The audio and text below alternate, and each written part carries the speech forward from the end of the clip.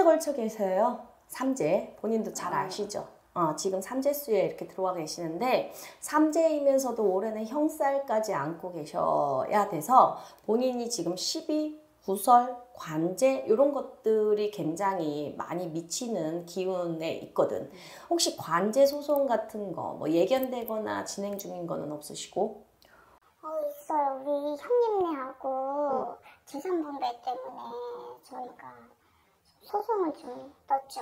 음, 재산 분배? 예. 그러면은 앞에 계신 기주님이 넣었으면은 형님네가 거의 다 가져가신 거네? 거의가 아니라 그냥 우리 어머니가 하나도 안 물려주셨어 우리한테는 그래가지고 좀 나눠달라고 뭐 되나요 그게 그래서 소송 걸었죠 소송 걸었다. 음, 그래 그 소송 결과가 어떻게 되겠냐? 네 예 예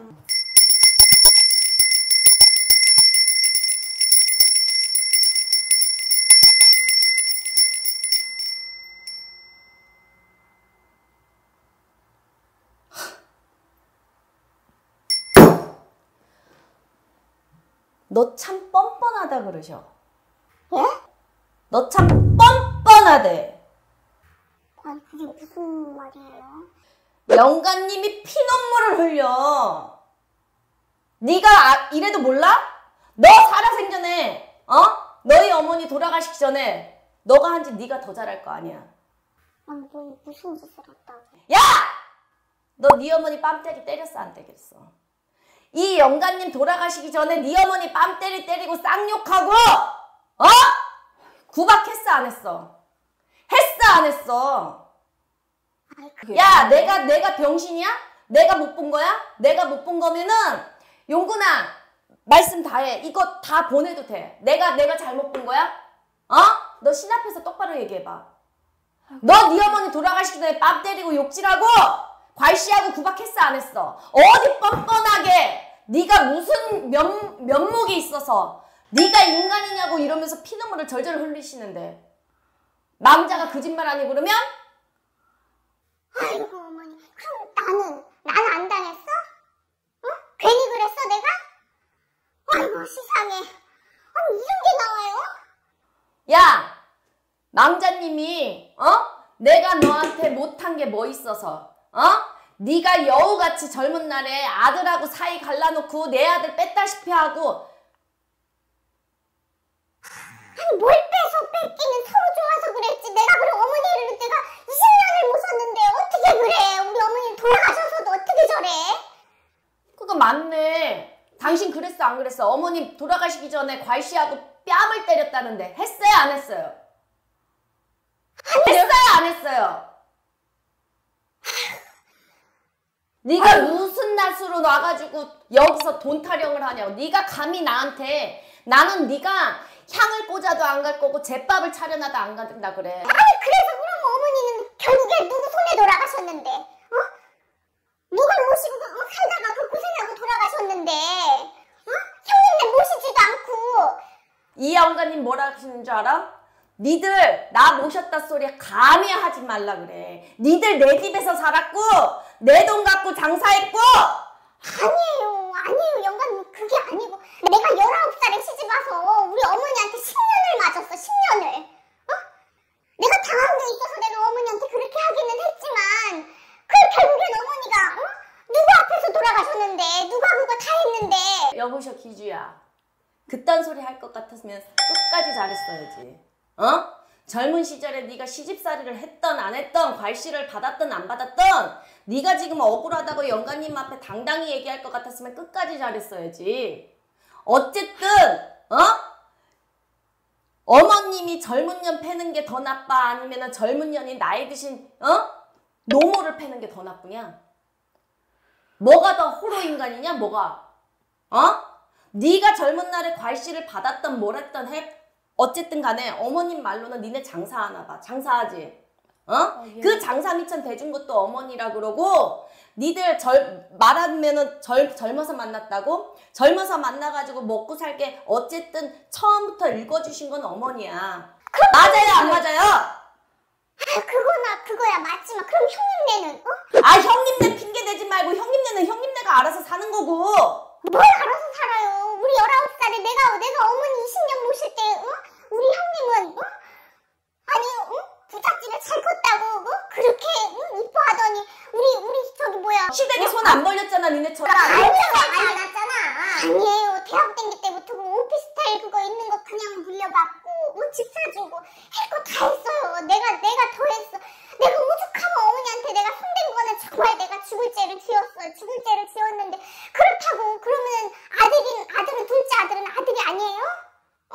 그럼 나는 못 받는, 하나도 못 받는다는 거야, 지금? 그러면 당신 말대로 톡 까놓고 얘기를 하자. 나는 혼자들은. 어머님한테 받은 거는 형님도 받았고 너도 받았다 치자. 네가 지금 그 얘기 하고 싶은 거지. 나만 받은 거 아니라 형님네도 받았다고. 어, 손찌검은 손찌검은 누가 했어? 형님은 했어 안 했어? 너는 했잖아. 그럼 너는 또 그거를 갖다가 내가 모셨으니까 모실라면 곱게 모시지. 손찌검 할 것 같았으면 은 네가 왜 나 형님 어머니 손찌검 하려니까 모시고 가시오 하면 모시고 갔겠지. 네가 오히려 젊은 날에 어 그 그 원수 갚는다고 어 형님네 모실 것도 네가 더 모시면서 네가 괄시하고 네가 손찌검 했잖아. 기주 젊어서는 억울하고 팔딱팔딱하고 서운하고 서, 서러울지 몰라도 어? 사람이 귀신 못 이기고 어? 그리고 누가 뭐라 해도 아무리 내 부모한테 괄시를 받아도 부모가 연로하고 노하고 어? 죽을 날 앞에 놓고 계신 분한테 네가 한 짓은 용납이 안 되는 짓이야. 어? 재산을 물, 형님한테 물려줬던 거는 어머님이 어? 큰애가 더 이뻐서가 아니라 너한테 네가 괄시하면서 어머님 정신 들락날락 들락날락 하시면서 어? 들락날락 들락날락 할 때부터 네가 괄시한 게 한두 번이 아니었어. 오랜 세월 그랬다고. 응? 물론 물론 형님네한테 얘기를 안 한 바도 아니야. 그놈도 서운하긴 서운해. 근데 직접적으로 때린 건 너잖아. 아무리 내가 어? 자식을 자식을 편가르기를 하고 싶지는 않지만 어머님 말씀에 편가르기를 하고 싶지는 않지만 어쨌든 간에 응? 얘는 나 안 때렸어. 내가 얘네한테 집 한 채 사줬으면 너네 내가 살고 있던 집 물려받았잖아. 그것도 모자라서 어 나한테 손찌검하고 어 나 괄시하던 년이 뭐 그렇게 잘한 게 있고 떳떳하다고 나 죽고 나면 아무도 모를 줄 알았니? 어 무당집 찾아와서 어디라고 네가 뻔뻔하게 어 부끄러운 줄 모르고 여기 와서 점을 봐. 어머님 노발 대발이야. 그래 이분 보면은 젊은 날의 성질이 장난 아니셨겠어. 하지만 기주야, 응? 법으로 할 것 같으면 조금은 받겠지. 아주 조금은 받겠지. 조금 더 받을 것 같아. 결론적으로 아주 조금 더 받을 것 같아. 근데 네 성에는 안 차고 어? 네가 그거 받자고 네가 재판을 건 건 아닐 거야. 네가 원하는 목적지에 갈 것 같으면 천도제라도 어머님 망자 진옥이라도 똑바로 하면서 정말 잘못했다고 빌어. 그러면 형님이 마음이 바뀌어서 재판은 무효하실 거고 그냥 알아서 협의 보실 거야. 근데 우리 어머님 마음이 너무 놓였고 너한테 서운해서 형님 마음이 안 움직여. 어머니도 참, 교수님 돌아가셔서도 여전하시네. 어? 전혀 죽으라고, 어? 그렇게 어린 거 시집살 시키시더니, 나도 진짜 원체 잘못하긴 했지만, 이 서운한 거는 덮어, 덮어. 이미 돌아가신 망자야. 그리고 돌아가시기 직전에 어? 아무래도 젊은 인연이 어? 나이 꼬부라지고 정신 들락할락 하는 그 노인네 상대로 네 젊은 날 한풀이 한 건 어디 가서 떳떳이 말할 거 못 돼. 잘못된 건 잘못된 거고 네가 원할 게 있으면 진옥이라도 해서 어머님 모셔다가 죽으나 사나 빌어. 그래야지 아주버님 마음이 바뀌어서 어? 네가 원하는 만큼이라도 나오지 재판대로 할 것 같으면 떡고물 네가 워낙 그거 받자고 재판 건 거 아니잖아. 응. 그거, 그거, 그거 좀 해줘요, 그러면은. 나중에 네, 얘기합시다. 근데 솔직히 내 마음이 엄마가 이쁘지는 않다. 엄마 돈 때문에 지금 그걸 하겠다는 거야? 아니면 네가 반성을 해서 하겠다는 거야? 그것부터 확실하거든. 그때 다시 오세요.